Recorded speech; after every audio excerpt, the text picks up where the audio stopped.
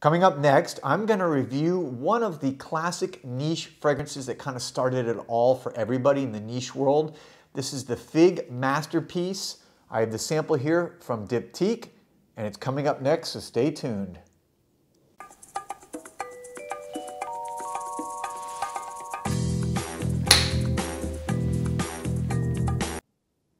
Welcome back everybody to Joel the Nose. And today I'm doing a review of what I consider one of the classics.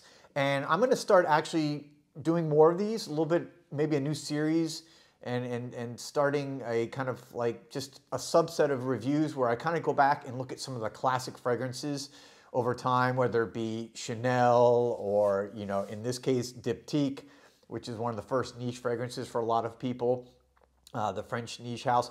But I think it's kind of cool because, you know, so often we're just focused on what's the latest, newest, hottest fragrance to come out to hit the market and everyone's waiting. And those are great. Of course, I, I, I review those and I want to know what's happening. But I also would like to know what were the ones that kind of were the trailblazers? And let's go back and, and look at them today and see whether they're still relevant today and, and kind of contrast and compare them with what's going on. So the first, I guess you would kind of say in this series is I have here a sample decant from Diptyque.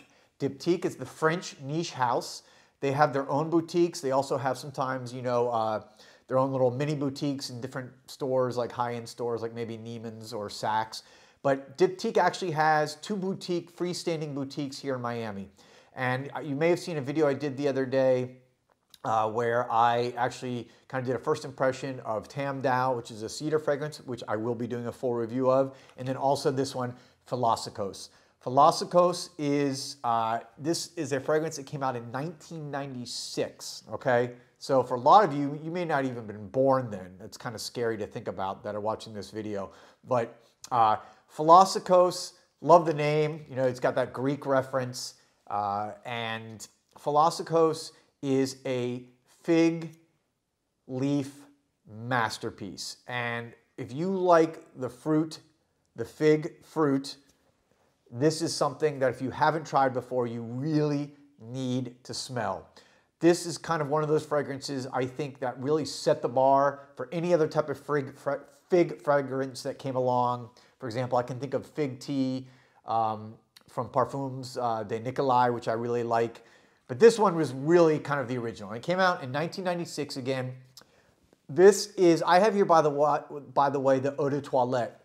They also have an Eau de Parfum, but when I was at the boutique talking to the manager, and I smelled both really quickly, and the manager actually told me she prefers the EDT version. It just is a little bit lighter, brighter than the Eau de Parfum version. So I decided I'm gonna wear that one. I'm gonna test this one. I'll probably review that one later also, but so this is, she gave me a, a sample decant. You can see here the box. I mean, it's obviously not the full bottle.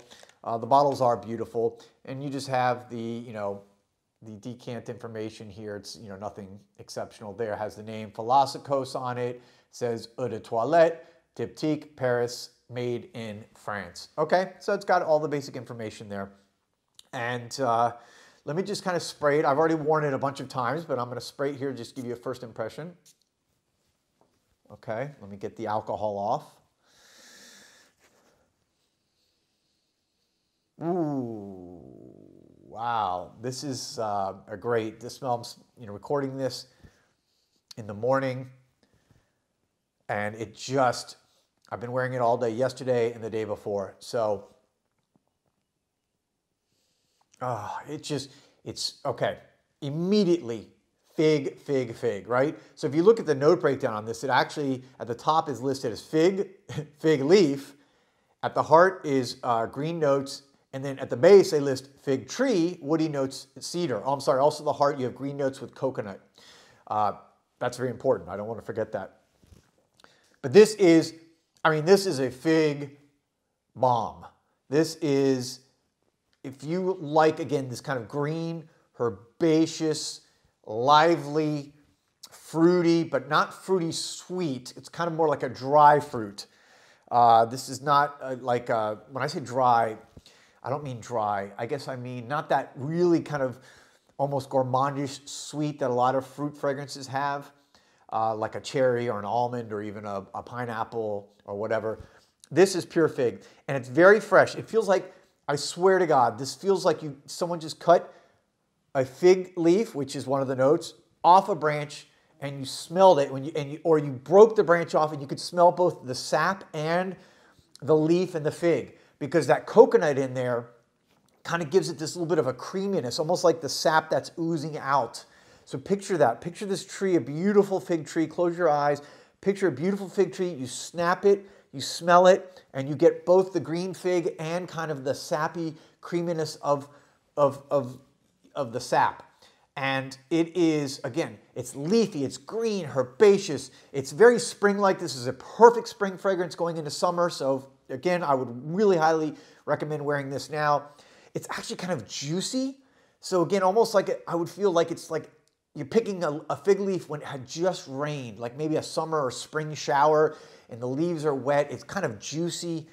Um, and again, what happens is the, the coconut for me, you just get a hint at the beginning. The beginning, the beginning really is all about this green, herbaceous, leafy, juicy fig. But then after about 45 minutes, the coconut for really me, for me starts to kick in and gives it that really kind of creaminess. And I help, I think it helped rounds out the green part of the fig because sometimes that can be a little bit harsh. You know, that, those notes, those kind of green notes can be harsh to some people. This is not harsh. This is very well rounded. I think the coconut does a good job there. Um, and by the way, this is not dated. So one of the things I want to check on these classic fragrances is this, does this smell dated in, you know, the 2020, 2021? This came out in 1996, you know, over 20 years ago.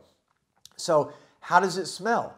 Uh, and I got to say, it smells wonderful. Uh, this is just, it smells fresh, it smells current, it smells very unisex. Uh, I would say again, this is pretty much right down the middle. I don't think it leans one way or the or the other. I could see some people say maybe maybe more feminine, but I don't think so. This is very perfect on my skin.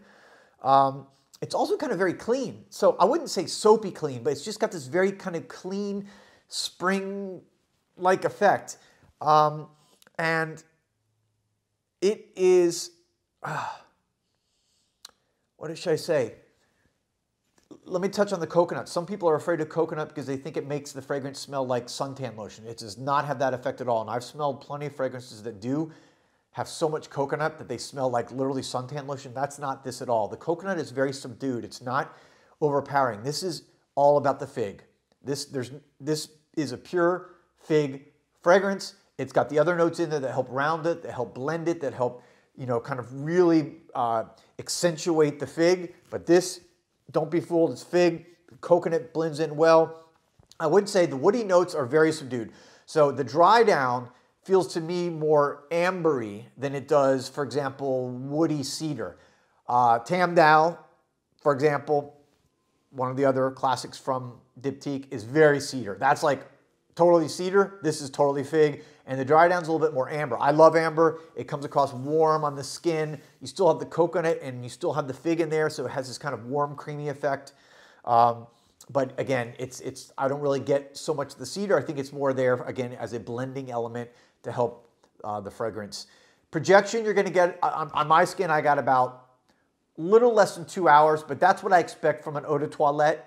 Uh, if you want the eau de parfum, that's going to go, it's, I, I assume going to give you a longer lasting fragrance. Eau de toilettes typically on my skin, on a good eau de toilette, by the way, don't be scared. Everyone thinks eau de toilette, it's not going to last.